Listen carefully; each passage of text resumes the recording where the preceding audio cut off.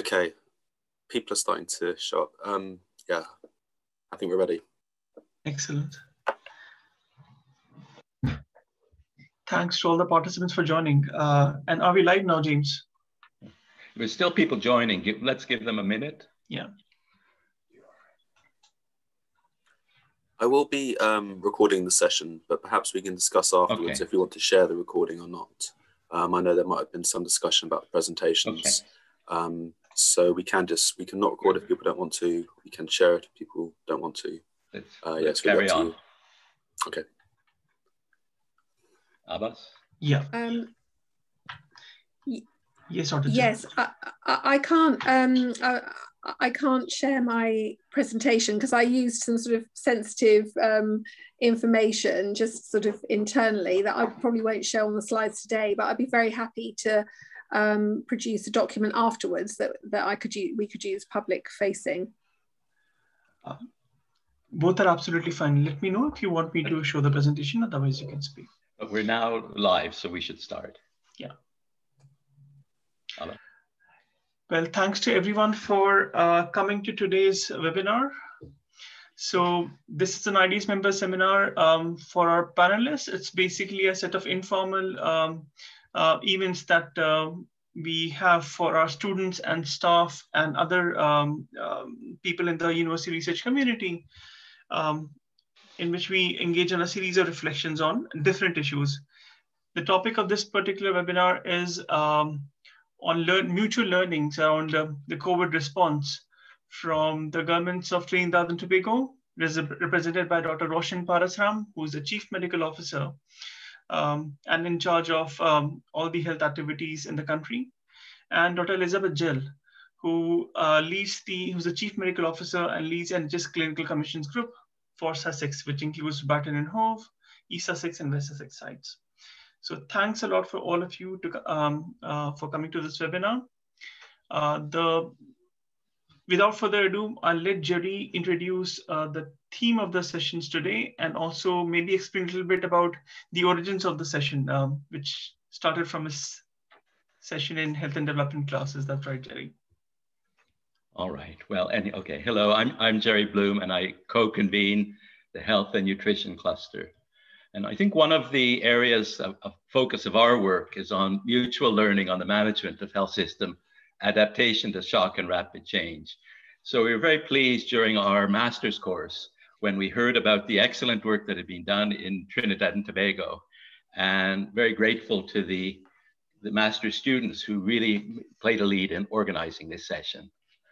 Um, we're really pleased and with our links to the local NHS in Sussex. And we've already organized in the past opportunities for mutual learning between cities in Brazil and in China and with Brighton.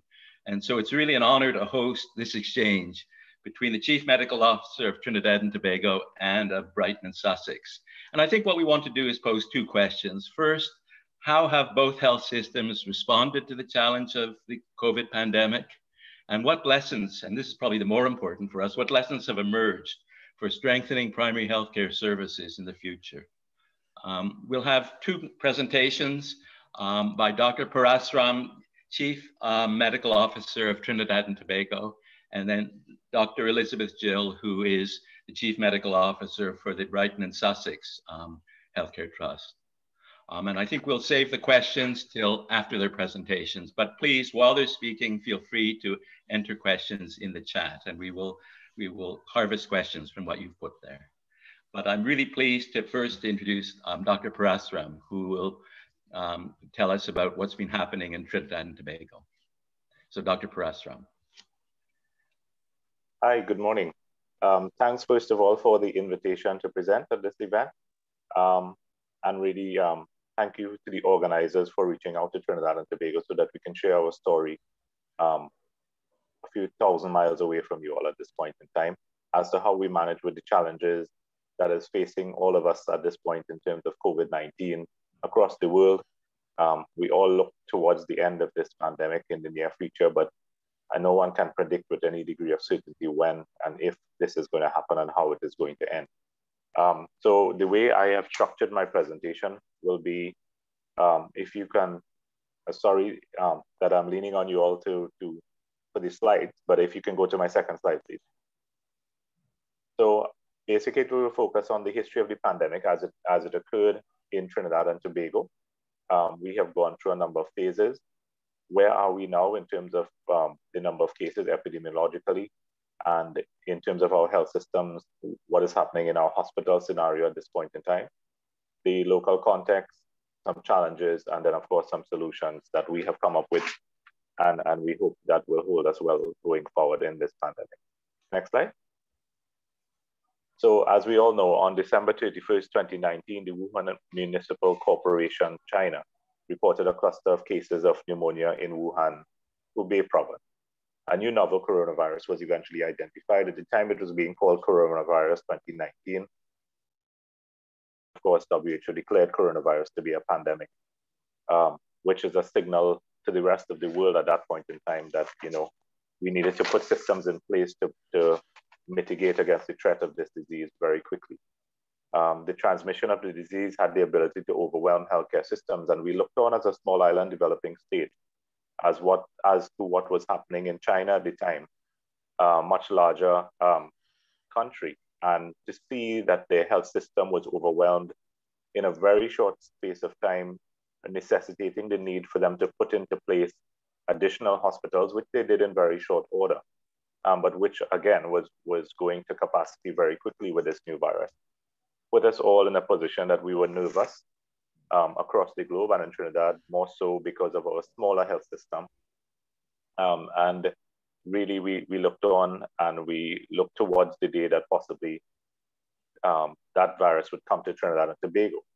At, the, at that point in time, we have strong links with China, although we are far apart we actually do a lot of commerce and trade, and we utilize their in the construction agency in Trinidad and Tobago. We use a lot of their their personnel, equipment, and elsewhere. So there's a lot of travel between Trinidad and China, um, and for that reason, and and for some others, we were concerned that there was a possibility, albeit remote in the early days, of that virus coming to Trinidad very quickly.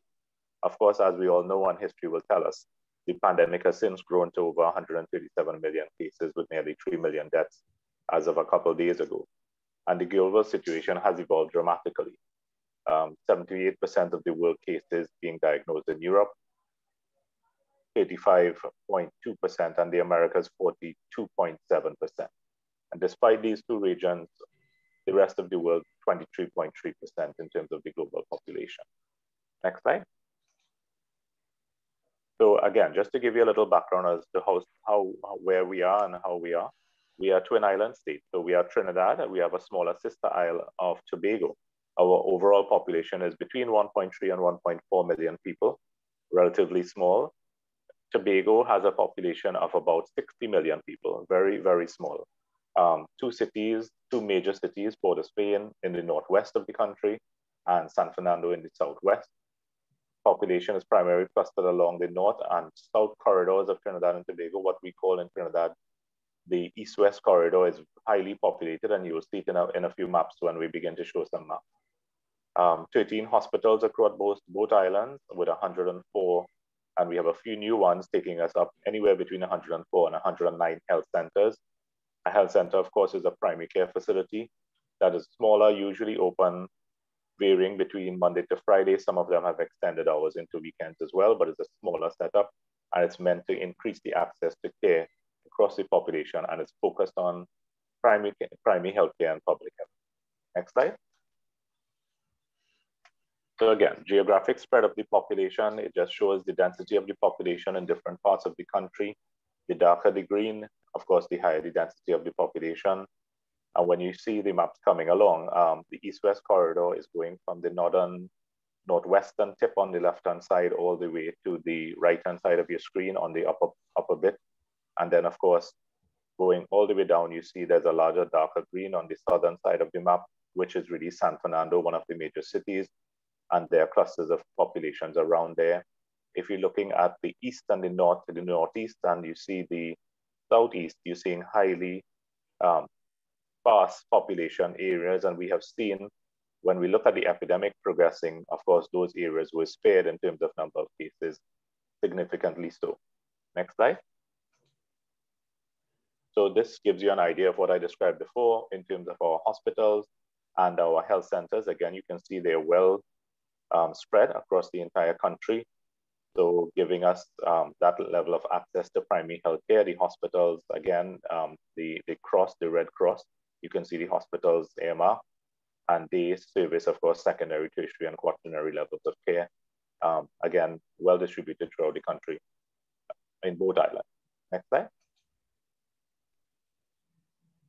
Yeah, so this is uh, giving you an idea with using utilizing our geographic information systems, which has really helped us greatly. Um, we started to use it quite a lot around 2014, 2016, when we actually had a Zika and chikungunya outbreak in the country. Um, we began to use the geographic information system then through the Insect Vector Control Division, which is a vertical unit of the Ministry of Health to map cases.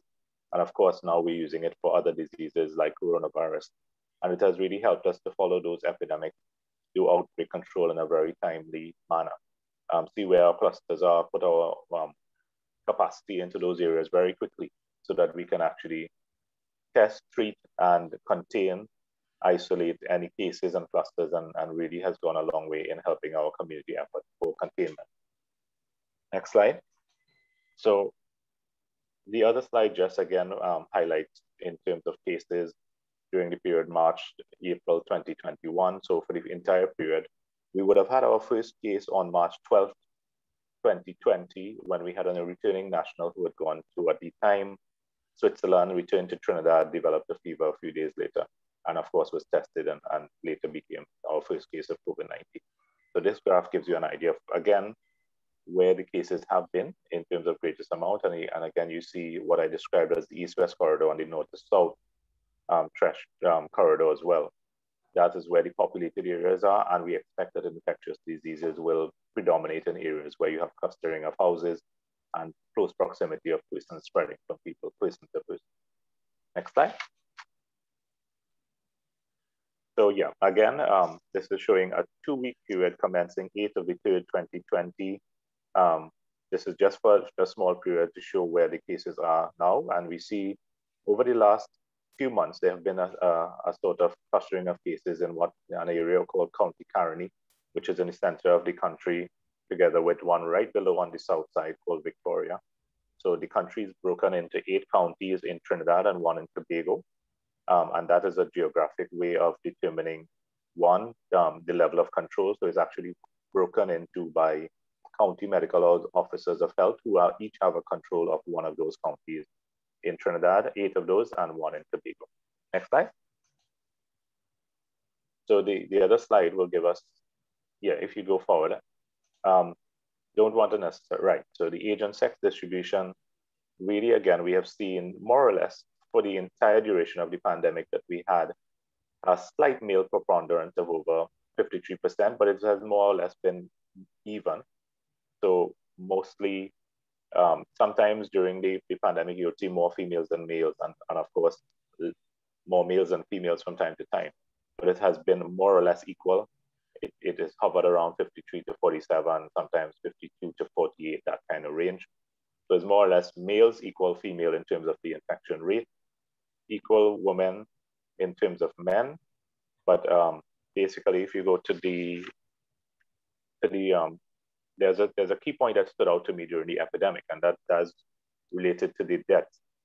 We have found that three quarter of the deaths that occurred was, was in males, and one quarter of the deaths that occurred in females, and that occurred throughout the pandemic. So it is an odd feature that we noticed in Trinidad, um, and it's something that we were wondering if happened throughout the world as well.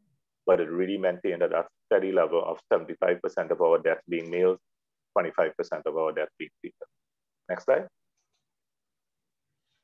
So this gives you an actual context of what happened in Trinidad and Tobago from the beginning. When I said we had our first case on March 12, 2020, all the way to the left, you will see um, that first bit. And we actually had between what we categorize in Trinidad as our first phase, really March, I would say March 12th, when we had the first case, all the way down to July, we actually only had a small number of cases, relatively small number of cases in the country, 138, with eight deaths occurring during that period.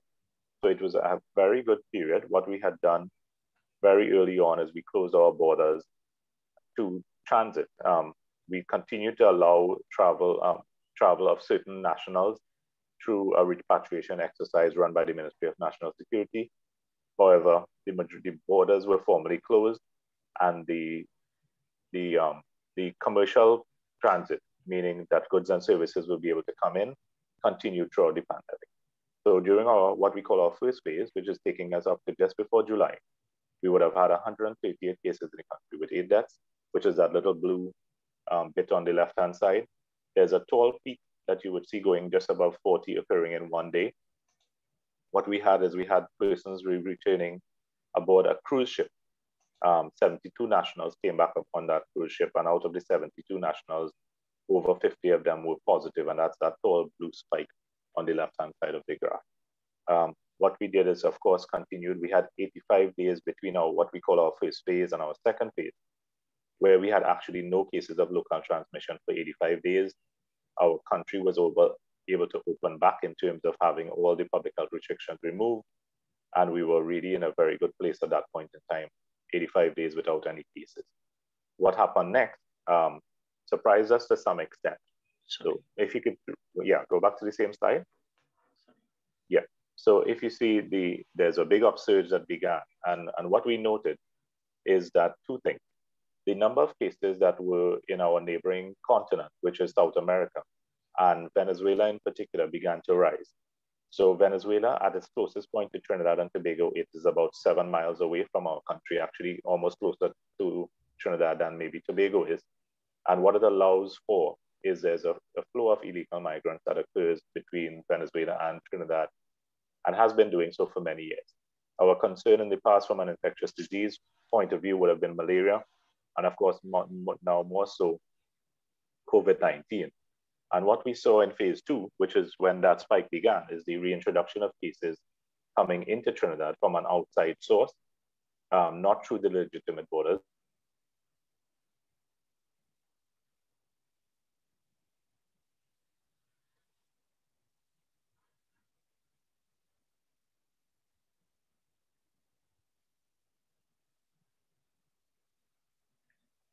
but campaigning involves very large groups of people going around the country, having rallies, having um, walkabouts, and people clustering really, not wearing their masks, not wearing their shields in very large numbers for quite a long period of time, almost two to three weeks that occurred. Um, we had the general election, which itself went smoothly on the day. Um, we had all the protocols in place, people followed the protocols, but what, what led up to the, to the election, not so much so. And we think that is what led to that massive spike that we had in August and September. In late August, after the election was done and dusted and the new party was, was sworn into office, we, we engaged them and we were able to have mandatory mask wearing legislated and implemented in late August. After, and you can see that point marked on the graph, thereafter you would have seen a precipitous fall in the cases going all the way down and we really got, there was one single high, high point there where you see prison cluster marked on the graph. Um, there was an infection that got into one of our major prisons and we took a, we, it really took a toll in terms of the number of cases that we saw at that particular point. Um, thereafter, it, it, stabilized and we're back again into a bit of a cluster um, following what we call spring break in some parts of the world. People really clustered all, all over the beaches, um, the hotels, again, not wearing their masks in close proximity, and we're seeing a, another third spike, if you want to call it. Next slide.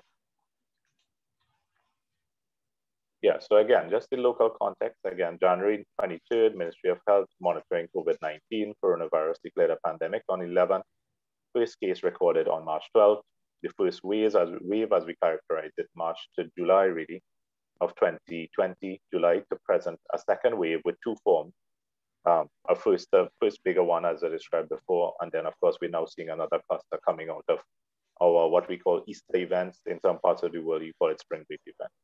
Um, mandatory mask wearing is very critical and has been critical for our population level control, initiated on August 31st.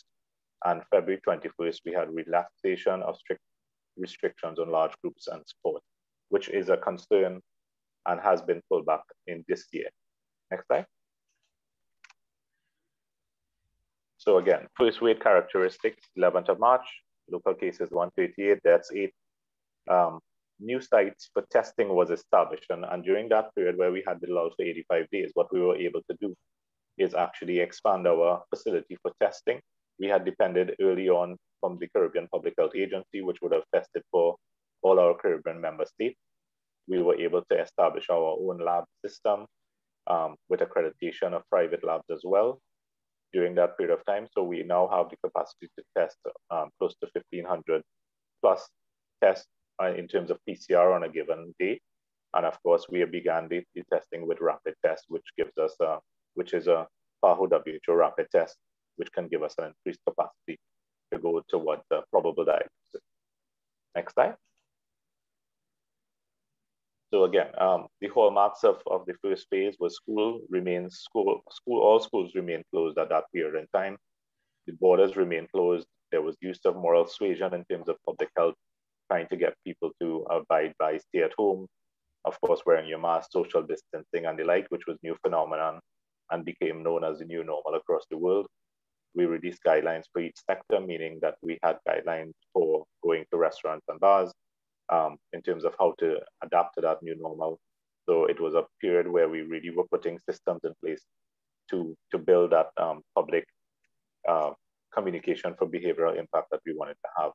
There was a phased approach to reopening of the economy as well at that period in time, and no community spread was listed. We, we were listed in phase one as sporadic, um, had no community spread or, or cluster spread occurred. Next slide. Yeah, so second wave characteristic, as I said, began when we had this, um, just before we had the general election in the country. Again, increased testing capacity during that time, new testing sites, and introduction of quarantine at home. What had happened is our policy initially was to quarantine every positive case in a COVID hospital, and we will speak a little bit about the parallel system shortly, um, parallel healthcare system we went away from that quarantine in hospital, which we thought was ideal for, for, contact tracing and containment. Um, obviously, because we had outstripped or getting close to outstripping the number of beds that we had, and we had people who weren't that ill occupying beds. We changed that policy, and of course, people were allowed to stay home and nursed when they were on when they were not very um, ill, and we left that space in ICU, HDU, and the ambulatory wards for people who are very ill. So that, that policy change came around then. Um, again, uh, to avoid burnout of essential workers, expansion of the workforce occurred where we hired quite a number of physicians and nurses who were unemployed at the time. There were leveraging of technology, um, PCR and other things, strategies to balance economic need for health security, evolving public health policy, and consistently reinforcing the public health messaging uh, through our press conferences, which we held at one point every day, including weekends and public holidays. and we had press releases as well. Um, next slide.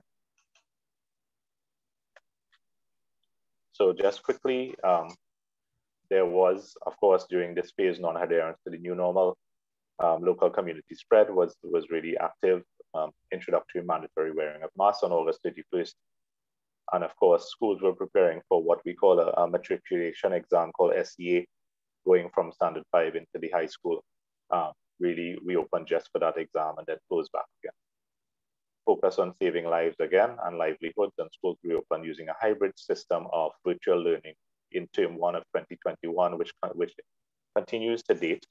Um, we just have our form four, five, and six, which are 15 to 17 years out at this point doing practical session. Next slide. So I just wanted to focus on some of the um, just for the next couple of minutes, the parallel healthcare system, which is um, somewhat unique in, in, the, in, in our parts of the world at least. Um, Trinidad and Tobago, we were in a good position where we were about to open two major hospitals. That was the Couva Hospital and Multi-Training Facility with a capacity of about 250 beds, including upwards of 15 ICU and 20 HDU beds, as well as the Arima General Hospital, which again had a capacity of 150 people with ICU and HDU um, coming on stream. And what we what we really did is is utilize that system. Those were two hospitals to treat COVID positive cases, both suspect and confirmed only. So the suspect were treated at the Arima facility, and the confirmed were all sent to Couva. And it allowed us really to bring those centers as a parallel system to our existing hospitals and health centers so that no cases of COVID positive were seen in our 10 other major hospitals. Um, really, it allowed us to separate COVID 19 from our systems. And even in the major hospitals, we developed what we call COVID tents or, or viral illness tents at the hospitals and at all 104 major um, health centers, where anyone with viral illness symptoms would be treated in a separate track. Um, so a parallel track where they would be seen very quickly, triad, determine what you have, swab, sent back home to quarantine if we had a suspicion that you were suspected. So there was no commingling between viral illness and any other cases that were seen. It allowed us to continue our normal hospital care, elective surgeries, our outpatient clinics, um, and managing all other diseases in our major systems and having a separate parallel system for COVID-19. I think it was one of the one of the um, being fortunate to have those hospitals coming on stream at just about the time when we were going to going into COVID, um, really us out in terms of being able to separate the systems. And what it has redounded to is, of course, maintaining the normal system, decreasing the, the rate of infection among our healthcare workers, having very little infection among the healthcare workers, with, of course, the use of PPE and IC, IPC mechanisms as well. Um, but really, really bringing us um, that parallel system is something that we really, really feel made a difference in Trinidad and Tobago. Um, next slide. So again, the other big thing that I wanted to focus on was the use of legislation. Everyone, Trinidad has a written constitution where, where of course we have um, laws that are enshrined and of course we have human rights and we have um, persons, of course, saying that they have certain rights and which is enshrined in the, in the constitution. Um, so what we do is Trinidad and Tobago has a Dangerous Disease Act called the Public Health Ordinance. And on January 31st, the President of the Republic would have declared COVID-19 to be a at the time it was called coronavirus, a dangerous infectious disease, which allowed us to use the public health ordinance to do things like mandatory mask wearing in public. Of course, we were able to adjust the times of opening of beaches, for example, closures of restaurants and bars to in-house only. And we did all of this under the public health ordinance. The quarantine act of the land, of course, is for persons entering the, the borders through the sea or the air, and it allows for measures to be taken to isolate and to quarantine individuals under that particular piece of legislation so that um, we, we wouldn't have had the need to do it against persons' will.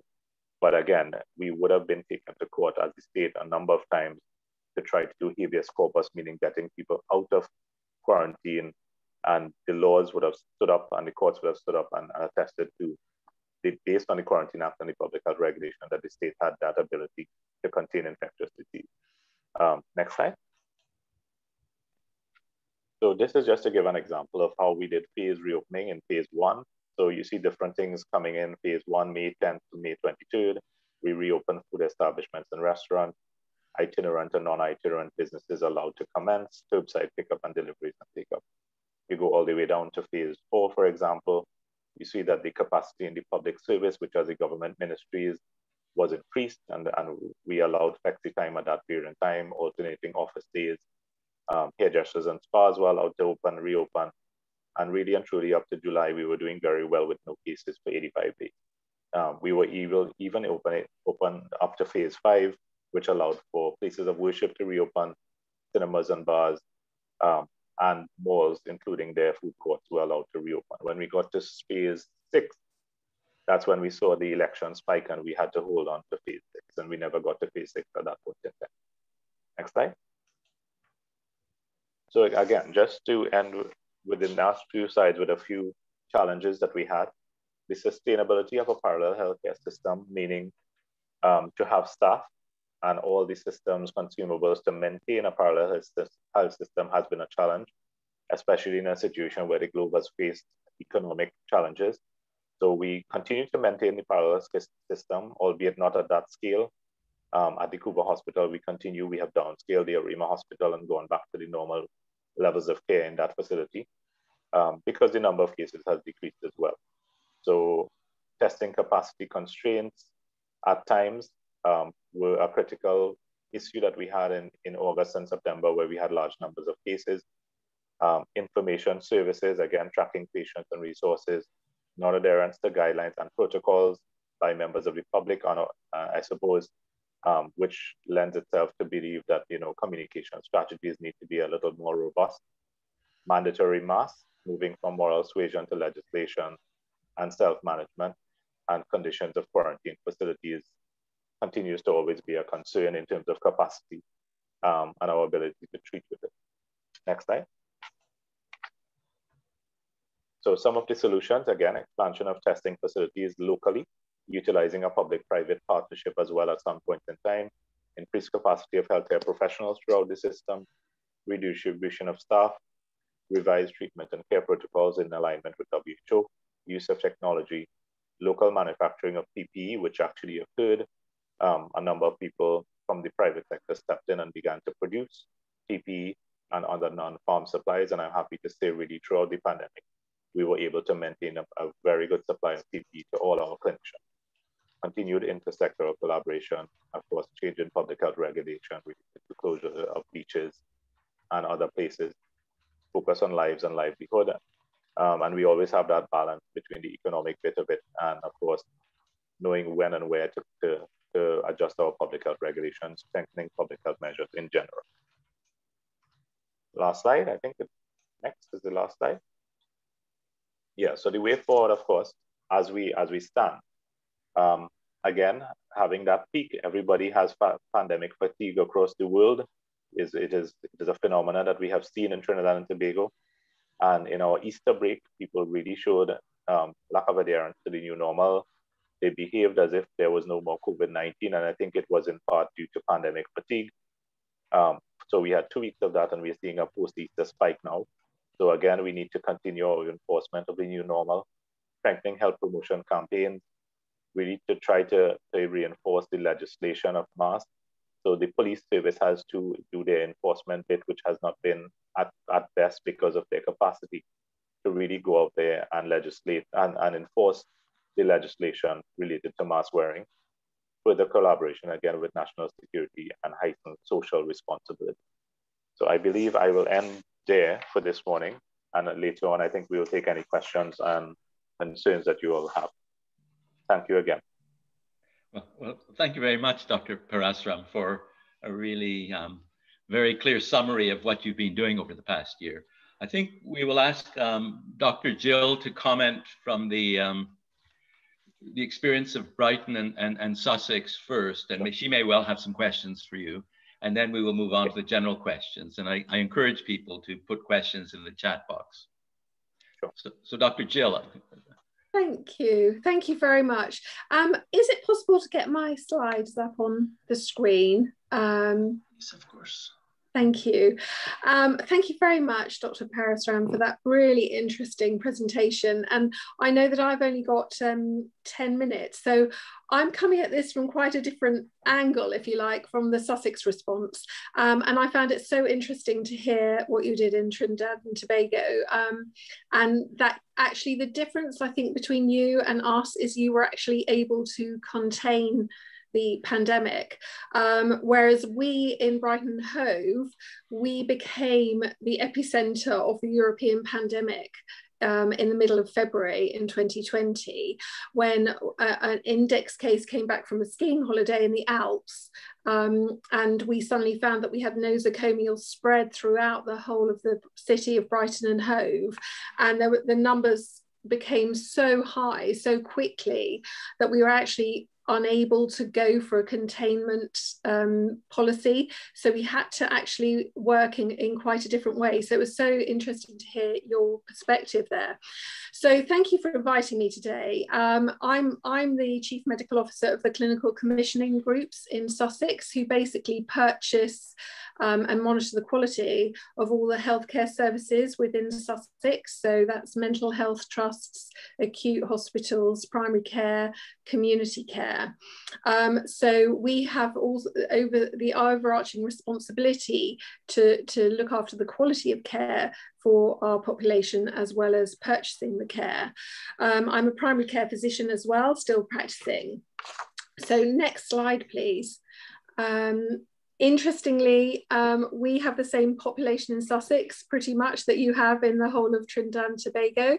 So Sussex is a historic county of southeast England. Um, it covers a coastal area um, and it's got three local authorities um, East Sussex, West Sussex, and Brighton and Hove. Um, and as I say, um, there are three clinical commissioning groups, which is where I work. We're now moving to some more legislation um, for something called the Sussex Health and Care Partnership, um, which is an integrated care system, uh, which is a really exciting movement within the NHS because uh, we've realised that so many parts of the healthcare health and care system have often operated in isolation from each other. And this is all about bringing everybody together with public health and the councils so that we can actually uh, deliver integrated health and care across the system. Um, and it's a, a, a, four billion pound uh, spend that we have with um, 30,000 staff. So, you know, as you all know, the NHS is a, is a huge organisation. Um, during the height of the pandemic, um, we we actually had to buy extra independent sector beds to actually meet the capacity. At one, uh, I think at the highest point of our third wave, we had 535 inpatients, which occupied over 40% of our beds. Um, and our I, ITUs were swamped in that we had, um, you know, over double what we would normally be expecting to see in our intensive care beds. So it was a real challenge to our system. And I was going to talk about how we responded to this as a health system. Um, so next slide, please. What we did was we adopted a, a command and control um, uh, situation in response to the major incident that was across the whole of England. Um, and we escalated to something called a level four major incident.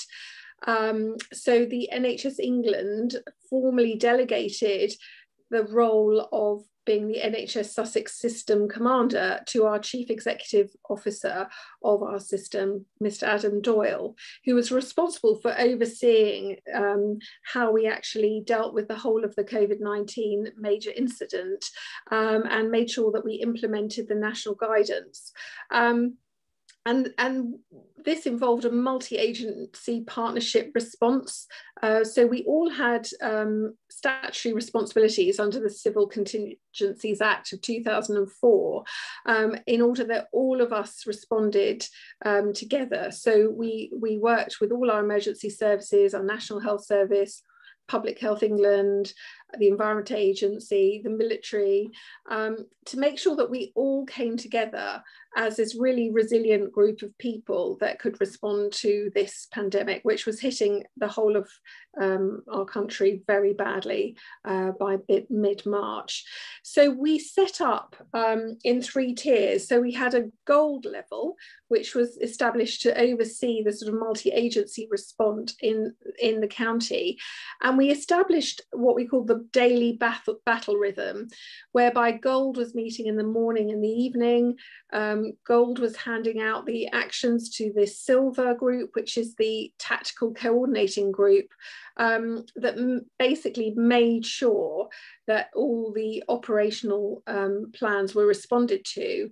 Um, and that way we were able to cascade down guidance that came out from central government out into the wider system. Um, and we also stood up a number of cells that could respond to the incident in different ways, which I'll come to in a schematic diagram in the next few slides. Um, and we also had a bronze level, which was sort of the operational layer who would go out and actually respond and uh, design and implement the plans. Um, so next slide, please. So yes, as I say, the gold made the strategic um, level decisions um, so that we really responded to the incident. And then the silver would do the make the tactical decisions. So there was really robust decision making that happened so quickly. Um, and then the bronze members of staff would assess the nature of the incident and then really concentrate on the specific tasks in response and liaise across the whole system to make sure that we really rapidly and effectively implemented the actions. Um, and next slide, please. There's a schematic diagram. Um, and what I did with our doctors, so I've got um, 11.8 whole-time equivalent um, clinical leads working for me in the Chief Medical Officer Directorate. Um, and what I did with those doctors was I would, I was the gold leader, so I would pick up the actions in the morning, cascade them through to silver, um, which were my local medical directors, who then cascaded the actions out to the bronze um, uh, work streams and cells. Um, and in this way, uh, we made sure that things were implemented on a daily basis and then reported back up to gold in the evening um, so that we made sure everything had been covered off um, because uh, there was so much guidance coming out from the centre. I think um, we would have uh, you know, at least 20 new pieces of guidance a day that we had to adhere to. So next, please. Um, and this is just a sort of overall picture of how complex the situation was in Sussex in that we've got um, uh, three major hospital trusts. Um, we've got one mental health trust, one community care trust, and an ambulance trust. And then we've got 180 primary care individual businesses as well across uh, the system. So somehow we had to link them all in. And you can see the schematic here, whereby gold is sort of in charge of all the different elements of the system. Um, and very important to this was um, the supporting the professional reference groups that sat underneath the gold. Um, so we had the chief medical officers, the chief nursing office, officers, the HR directors and the chief finance officers all meeting daily as well to pick up any of those very difficult clinical decisions or um, workforce decisions or finance decisions that needed to be done on a daily basis. Um, and then you can see there were a number of work streams that sat underneath this. Um, I was responsible for staff testing, uh, we also had work streams responsible with um, PP for PPE, um, the volunteers we had coming back into the system, primary care resilience. We've got one of the highest number of care homes um, per head of population in the whole country. Um, so that was a real issue in that cases there were extremely high as well. Um, and we made sure that there were clinicians involved in all of these work streams and this was absolutely critical i think to to the success because they could support the managers with that really crucial clinical information that they got from the front line working. Um, and uh, I think you know one of the things I would really take away from this was the fast pace that we responded um, was, was something I've never seen in my working life. And everybody had to be incredibly flexible, collaborative, and pull on all of their transferable skills. Um, and I think that is how we managed to, to get through this as a system. Um, and we had one of the lowest death rates in the whole of, of the UK. Um, I know no death um, it, is welcomed, obviously, but we managed to contain um, the number of deaths in a really quite critical um, situation, really due to this daily battle rhythm that we had. Everybody knew and understood their roles. Um, all actions were cleared down daily. Um, the CMO structure was aligned to the command system and communication collaboration were absolutely uh, key to the success of this. Um, I know we're short of time. Um, I was going to talk about um, the health inequalities disparity that we found due to COVID, but um, I don't think there's time for that today, really, is there? We can have a few more minutes. A few more minutes? If, if, if, I think it would be very interesting okay. for everyone. Okay, if, if we can go on perhaps to, um, if we can go three slides forward, please. Um, I, Sussex has got um, a much healthier life expectancy than the national, next slide please. That's it, thank you, um, than the national average. Um, but we have got some real pockets of depra deprivation along the coastal strip um, and also some significant mental health needs there and a higher than national average number of, people with dementia. Next slide, please. And what we found quite quickly on is that COVID um, really showed a disparity in the outcomes between our different populations and had had a disproportionate impact on a number of groups. Um, and those were those living in a disadvantaged area, uh, those from Black, Asian, minority, ethnic communities, older people, people with mental health, and people with learning disabilities. Um, next slide, please.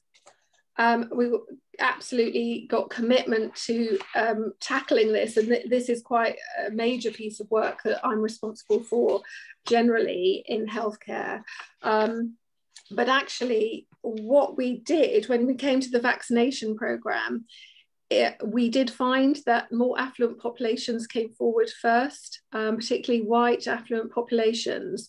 So we have put in um, five high impact initiatives to make sure that we're reaching out to um, our other communities who don't necessarily come forward, not only for vaccination, but for general healthcare as well. Um, so we, we've got um, a vaccination bus that goes out uh, to geographical areas that are hard to reach and also to different faith communities, different ethnic communities. And we're using our um, community champions from uh, all sorts of different communities to try and promote the vaccination program with great success. I mean, in our learning disability um, community, we've seen an increase in uptake of 10% over the last two weeks with these high impact initiatives. Um, we've seen increased uh, uptake with our homeless community and our ethnic minorities. And we found it's really by understanding our population, um, using small grants to help um, to help our um, sort of populations really in need to come forward ha has been really key to um, the success of the vaccination program. And I think we're going to use this um, with all of our future work with um, our populations um, suffering from health inequalities, because it's shown us the vehicle to reach those populations, how we sort of reached out with tentacles, both with uh, clinicians, but also with our faith leaders, our community leaders, and so on, um, and actually taking the care out to those groups rather than waiting for them to come to us. So it's been a really fascinating um, and very useful piece of work to do. Um, and I think we are now at 95% of our population in cohorts one to 10 vaccinated, which I think is, um, you know, been a really significant achievement.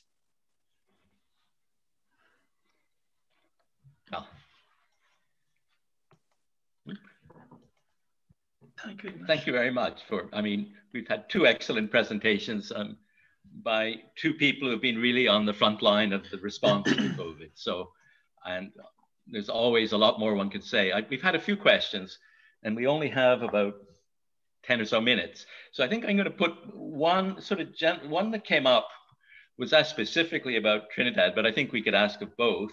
I mean, it's clear in both cases there's been this problem, um, and I think we're looking particularly at primary healthcare level at both dealing with people who have the COVID, but also all the other health problems. And someone asked the question about how that was managed in Trinidad and how important this parallel system was. But of course, you've had the same problem in, in, in the UK about how do we deal with the ongoing primary healthcare problems. And the second question raised about Trinidad was how were how did Trinidad um, deal with supporting people to follow guidelines? Were there financial incentives? Was it more continuing publicity? And I guess we've had similar issues here. And, and, and then to, if you have a minute, each of you at the end, I guess it would be either one key lesson for the future that from this very intense experience, what's at least one key lesson for the future, and maybe are there some parallel, are there some areas where there's been some interesting um, less potential learning in the future between Trinidad and Tobago and Brighton? So an awfully big agenda for the next few minutes. But Dr. Parasram, there was a lot of interest in the in both the parallel system and, and um, how you were convincing people to follow guidelines. Okay, sure. So um, the if we could start with the parallel healthcare system and the maintenance, I mean, the, the key to having a parallel system is really, it's premised on really having a separate system, one, so that infections are not getting um, to the healthcare workers who are not assigned to COVID-19 in particular. So we have separate tracks. Um, in the primary care system, for example, as I described, what we call viral tents. That model had been used before for um, SARS way back uh, 10 years ago or thereabout um, and has worked well. So we had some, some element of using it before in Trinidad and Tobago. Of course, having separate hospitals for COVID-19 really went a long way, um, keeping it out of our system. Um, but I, I, think what the, the, fundamental issue as well, aside from keeping it on separate tracks, was being able to maintain the delivery of healthcare to everyone else. Um, so persons who would not have had COVID, um, pregnant patients who needed to deliver as normal, um, was were able to maintain that level of care to, to everyone else and treat COVID almost like a separate disease, just in a separate place and a separate time with separate workers. Um, was something that really it took a lot of work to get going. We had to hire new staff, of course. Um, and we were able, because we had such a good containment effort in phase one, it gave us almost six months to put that parallel system in place. Um, so really because of the work of the CMOHs and everyone that, that treated and really the, the government of the day really stood behind us and believed in, in our public health guidance. And it could have been completely different had they not. Um, they maintained the closures of the borders, which is very good to, to be on an island and have that separation to keep things out. So put our put our border control strategies in place um, it really gave us that much needed time to put our systems in place to develop the parallel healthcare system. Um, and really uh, during that time, we were trying to educate the public. By we, as I said, we I was on television together with my Minister of Health um, and senior technical advisors almost on a daily basis throughout the first phase all the way into July, I would say. Um, basically talking about every single topic, bringing experts from different fields on with us um, which would be a, a hour-long program every single day. Um, the press, we would present for about a half an hour, and then the press would be asking questions, the burning topics of the day for another half an hour. In addition to which, we were able to send press releases up, I think at one point, 10 in the morning, 4 p.m., and 10 p.m., which would tell people how many cases there were, how many deaths there were, um, and any pertinent pieces of information that was required for the public to respond. Um, setting the stage for the new normal. So it, it, was a robust public education in the early days to try to get people to understand what was going on internationally and locally and really get them to adhere to the new guidelines. Um, yeah, so so more or less that's how we dealt with the primary care situation. I don't know if um, you want to go ahead with your with your primary care bit first, and then we can discuss the last question. Okay, well, I, I must say we're getting other questions. So I, I, I wonder if, Dr. because we have such a rare chance to hear, hear your thoughts, Dr. Parasram. We could ask a, a, a, couple of other reflections that people have raised, and then we'll come back to Dr. Gill. People have raised, I, I guess, the question you mentioned that you already had some preparedness on how to deal with outbreaks from previous ones. Sure. And there was a question about what you've learned. And I guess on the other side, um, as the pandemic continues in, in certainly in Venezuela and in Brazil, and as new variants emerge, what do you see the big challenges and how do you see tackling this problem over the next year or so? Yeah, so, so I think the outlier in all of this first has been, so we have maintained the closure of the borders, as we said, but that's the, of course, legitimate borders. We have illegal migration that occurs because we are so close to the, to the southern um, South American mainland that occurs consistently. And because Brazil has P1 coming across through the land borders to those territories, we, we of course are significantly concerned with illegal immigration of that particular strain. And of course, the impact on vaccination, um, whether the vaccines will be as efficacious for, and we have seen, you know, some studies already saying that there's a 2.5 decrease in the antibody response to P1, for example.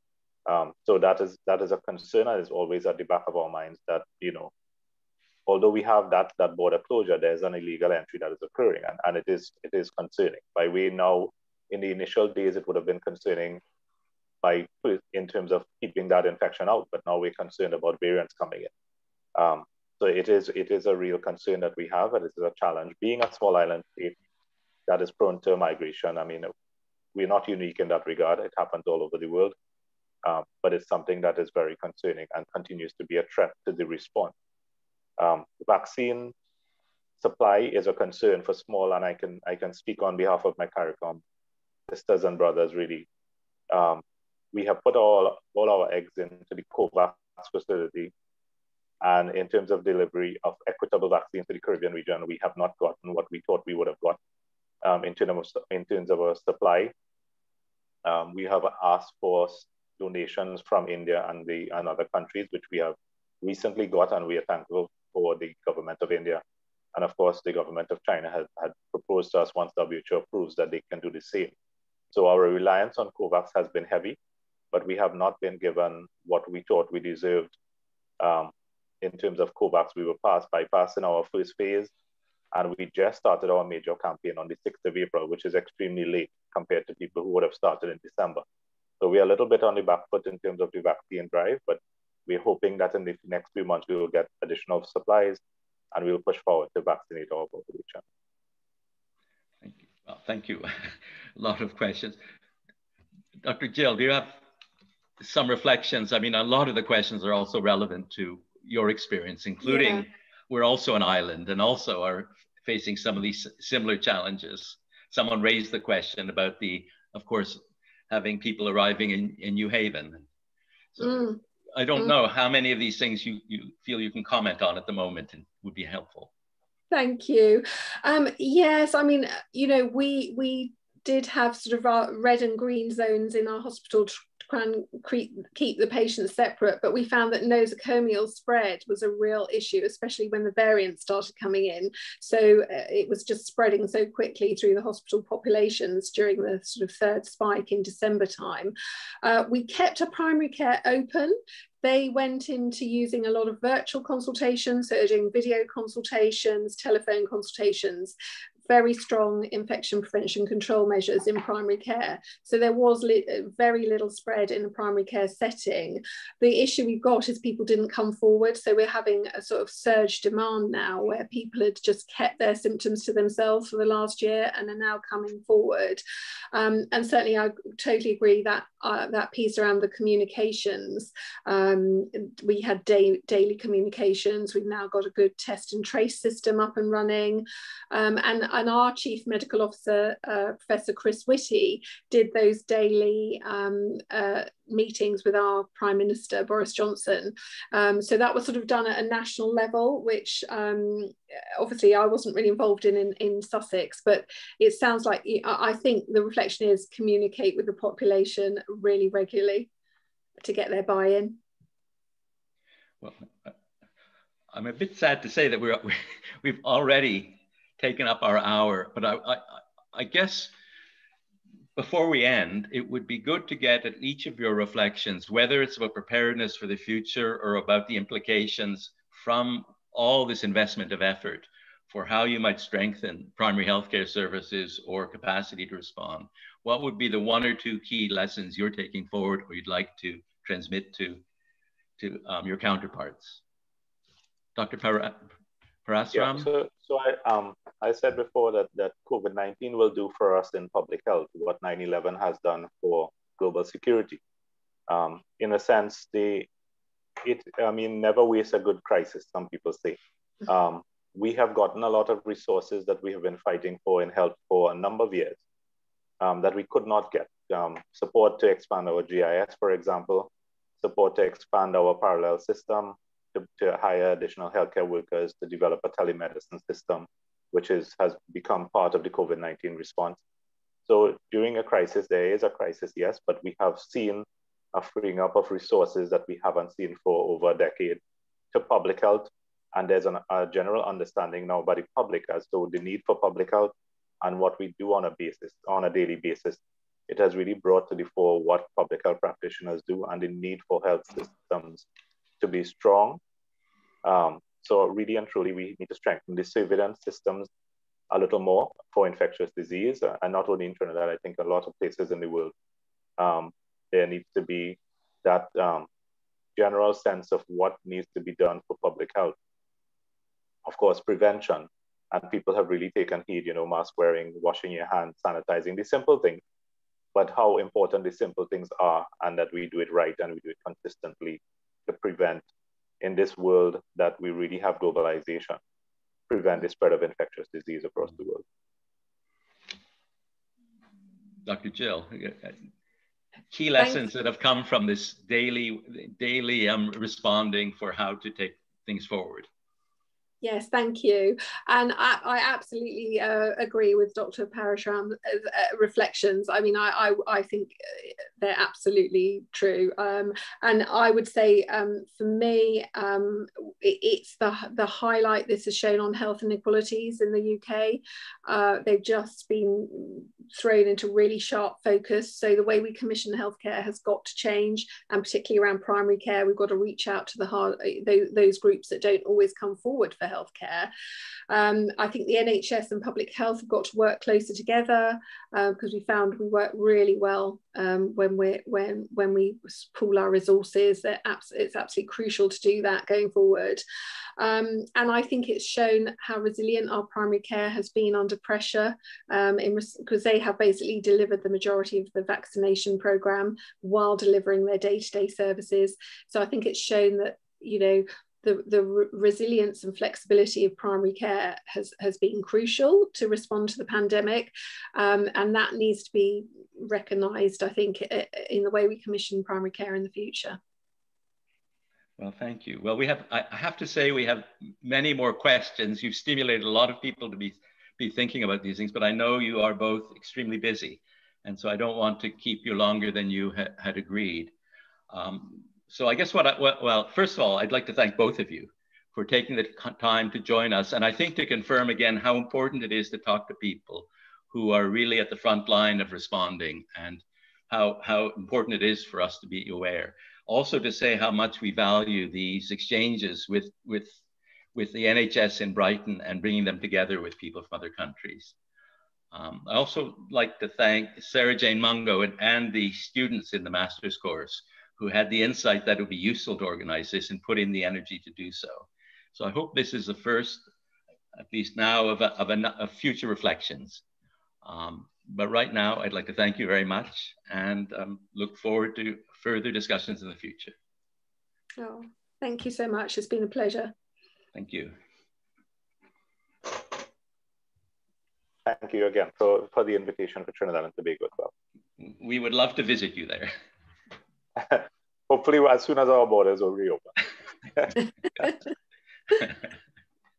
All right. Have a good day. You too. Thank you very much. Bye Bye-bye. Bye.